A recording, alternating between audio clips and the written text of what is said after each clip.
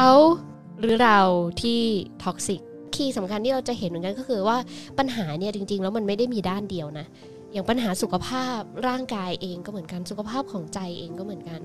มันไม่ได้เกิดจากการที่เราเนี่ยไปรับสิ่งที่มีพิษมาอย่างเดียวนะ บางทีเราก็สร้างสิ่งที่มีพิษให้กับตัวเองเช่นกัน โดยที่อาจจะรู้ตัวบ้างอาจอาจจะไม่รู้ตัวบ้าง หรือบางทีนะ เราอาจจะ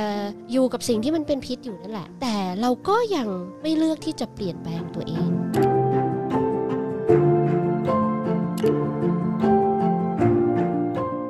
เขาหรือเราที่ toxic มันกลับทำให้เบลนึกถึงเรื่องเมื่อก่อนมากกว่า ก่อนหน้านี้เบลก็เคยทำงานอยู่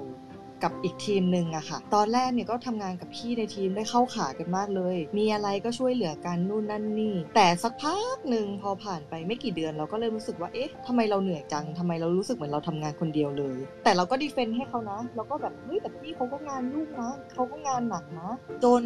เราเริ่มรู้สึกว่าเราเหนื่อยขึ้นเรื่อย ๆทำไมเหมือนเขาไม่ช่วยเราเลยทั้งที่เราว่าเขาก็ช่วยนะอย่างเงี้ยค่ะ มันเป็นการตีกันในหัวอย่างเงี้ย ตลอดเวลาจนรู้ตัวอีกทีก็คือเราสองคนทำงานด้วยกันแต่เราไม่คุยกัน ก็เลยแบบเอ๊ะไม่แน่ใจเหมือนกันว่าอันเนี้ยคือเรียกว่า toxic ไหมเนาะแล้วเบลก็ไม่รู้เหมือนกันว่าเขามองว่าเรา toxic หรือเปล่านะสมมุติก็ถามเขาว่างานที่พี่ทำตรงเนี้ยมันคือยังไงอัปเดตเบลหน่อยเขาก็จะหัดกลับมาบอกว่าเบลนี่คืองานของเราสองคน คือมันเริ่มเปลี่ยนจากการที่ช่วงหนึ่งจู่ๆเบลเหมือนเป็นซอมบี้อะค่ะหมอเอิญ เบลเข้าไปออฟฟิศเราไม่มีพลังรู้สึกเหนื่อย รู้สึกแบบล้ามากอะไรเงี้ยแล้วเราขอความช่วยเหลือจากใครไม่ได้เลย พอทำงานของตัวเองให้เสร็จรู้ล่วงก็ลาออกเลยเอิญก็ยังรู้สึกว่าปัญหาเนี้ยมันเป็นเรื่องของการสื่อสาร เบลสงสัยว่าไอ้อย่างเงี้ย toxic หรือเปล่า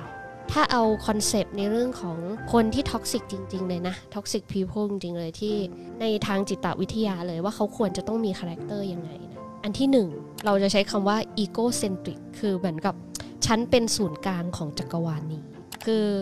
การมองเห็นคนอื่นเนี่ยจะค่อนข้างน้อยอะอันที่สองก็คือว่าเฮ้ยเขาอาจจะมีเรื่องของการสื่อสาร หรือพฤติกรรมที่มันเป็นในเรื่องของ violence อันนี้ก็เป็นความ toxic ดังนั้นเราจะสังเกตคนบางคนเนาะมีพฤติกรรมที่ค่อนข้างรุนแรงทำร้ายคนอื่นที่ทำทำได้ การ violence กันทางด้าน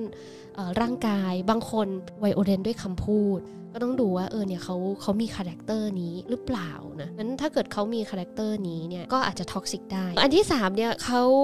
มีลักษณะของสิ่งที่เรียกว่า manipulate หรือเปล่านะแบบเหมือนบงการ บงการชอบไปบงการจัดการทั้งโดยทางตรงหรือทางอ้อมเออฉันอยากได้อย่างเงี้ย ฉันมีเป้าหมายอย่างเงี้ย ก็จะไปจัดการเรานะบางคนเนี่ยจัดการทางอ้อมเหมือนในละครอย่างเงี้ยแต่บางคนคือจัดการทางตรงเลย คือคอนโทรล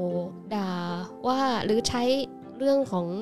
ออการควบคุมการบังคับอะไรอย่างเงี้ยค่ะ ไม่ให้เราเป็นตัวของตัวเองนะหรือถ้าจะเป็นตัวของตัวเองก็จะทำให้เรารู้สึกผิดขัดจากสิ่งที่เขาวางไว้ อันนี้ก็เป็นความ character ของความ toxic อีกอันหนึ่งก็คือเขาทำตัวเหมือนเป็นเหยื่ออยู่ตลอดเวลา ใช้ความขี้สงสารหรือหน่าหน่าหน่าสงสารเนี่ยในการที่จะได้สิ่งที่ตัวเองต้องการอยู่ตลอดเวลาเรื่องความ toxic เนี่ยจริง ๆ แล้วมันจะไม่บางทีมันจะไม่ได้เกิดขึ้นแบบ เฉพาะคนเฉพาะสถานที่เนาะบางทีมันเป็น character ที่ที่ฝังแน่นในบุคลิกภาพบางอย่างเนี่ยมันก็จะออกมาในลักษณะสี่อย่างแบบนี้นะ ซึ่งต้องบอกว่าพอเวลาใครอยู่ใกล้เนี่ยจะรู้สึกยังไงนะก็คือจะรู้สึกเหมือนโดนดูดพลัง ดูดพลังดีๆ จากตัวเรา แล้วก็ดูดพลังลบๆเข้ามา รู้สึกว่ายิ่งอยู่ใกล้ตัวเรายิ่งตัวเล็ก เรายิ่งเสียความมั่นใจ จะสังเกตตัวเองยังไง ให้เราเนี่ยแหละไม่ไปท็อกซิกใครนะสัญญาณหนึ่งที่เอิญคิดว่าเป็นสัญญาณที่เราเนี่ยเอาไว้ใช้ได้เลยนะ คือเราสามารถที่จะหลับตาในอ้อมแขนของตัวเอง อ้อมกอดของตัวเราเองได้หรือเปล่าเพราะว่าตัวเราเองเนี่ยนะเรารู้สึกว่าฉันบอกตัวฉันได้นะว่าฉันเป็นคนที่น่าอยู่ใกล้นะเว้ยฉันบอกตัวฉันได้นะว่า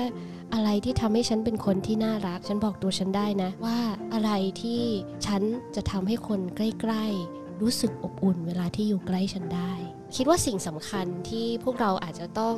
ฝึกแล้วก็อยากอยากชวนทุกคนเนี่ยค่อยๆ ทวนตัวเองนะเอิ้นว่าการที่เราได้ฝึกเซลล์ awareness กันนะคะการตระหนักรู้ในตัวเรานะคะเพื่อให้เราเนี่ยอยู่กับตัวเองได้ดีขึ้น แล้วก็อยู่กับคนอื่นได้มีความสุขมากขึ้นด้วย